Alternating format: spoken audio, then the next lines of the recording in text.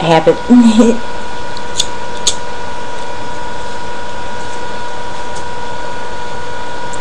okay, so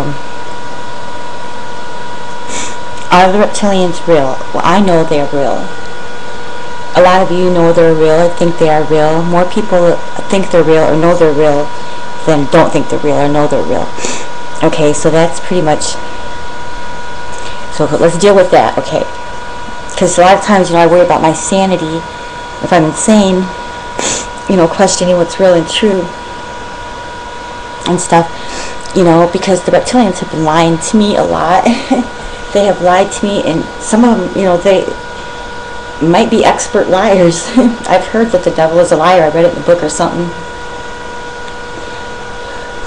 But they they have lied to me and played me for a fool. Like Leo being Pindar's son. When the Baron de Rothschild, before his body died, you know, he ritualistically made Leo. Anyhow, um, so Leo is a physical, real man in this world who is Pindar's son, who anyhow was part of the lie. Lied to me and said he was going to come get me and put me through the fast and take care of me so I could take care of you and help me get out of the situation and never happened. And the thing about George Bush coming to help me, you know, because I wanted so bad, because I know that my Master Mason, he, even though he doesn't attend anymore, um, the past couple years,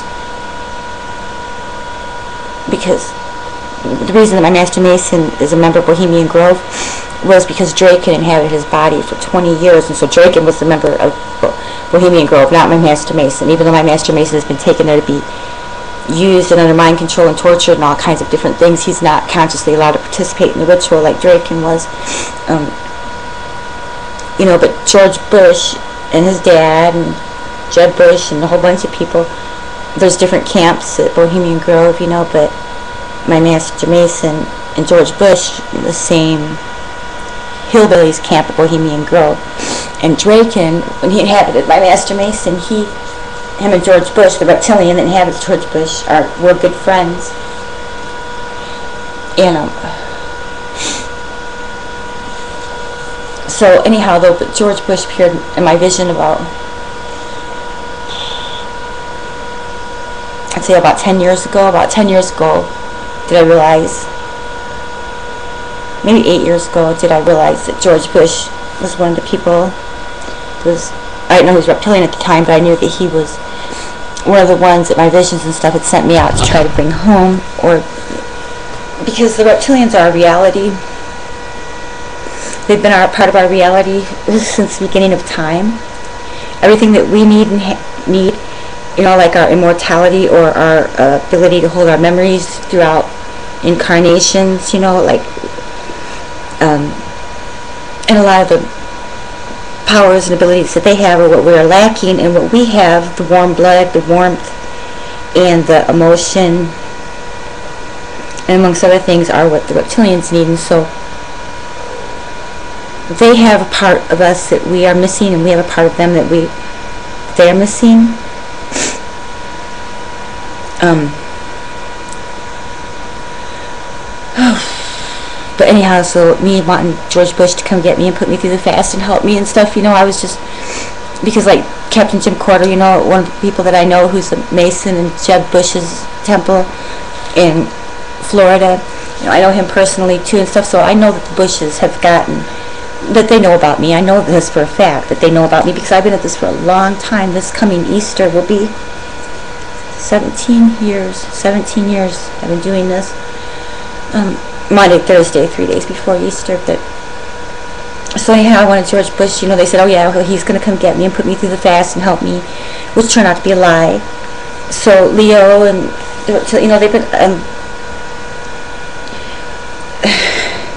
you know what what piss, what piss, what confuses me though is that Pindar, like when I was talking to him and my master Mason and Draken before, um, that that would mean that they were lying to me too Pindar's lied to me before, but not a whole bunch. But you, you know, I've caught him in lies, and I think it's just. But so it's real hard for me to be able to know what's true as far as what they are saying because they lie a lot.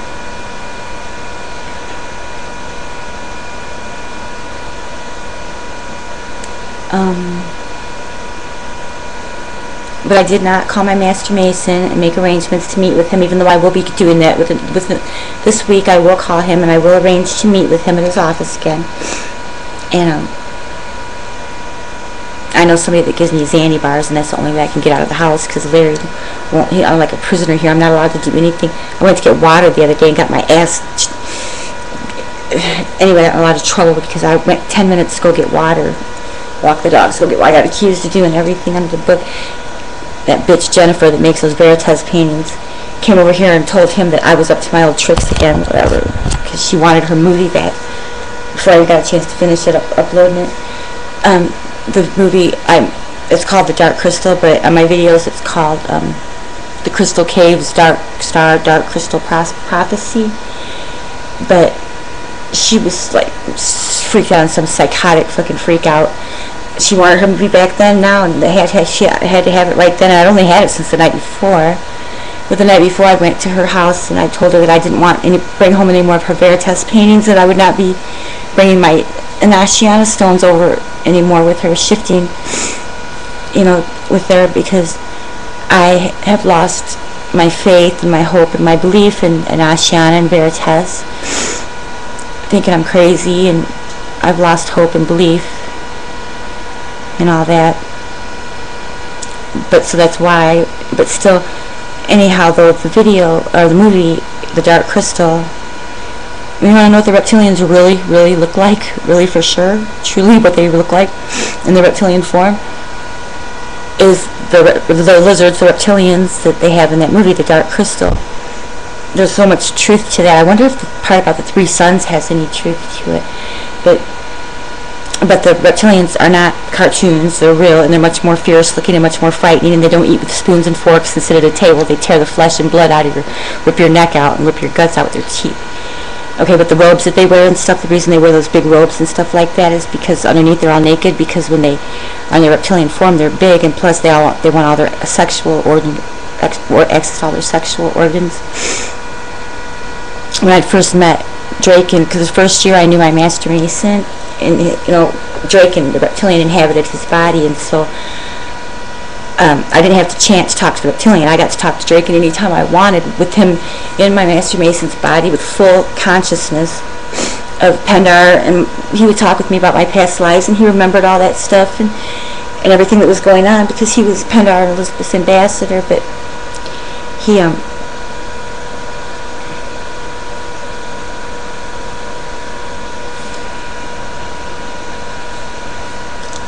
I just lost my thought again. Damn it.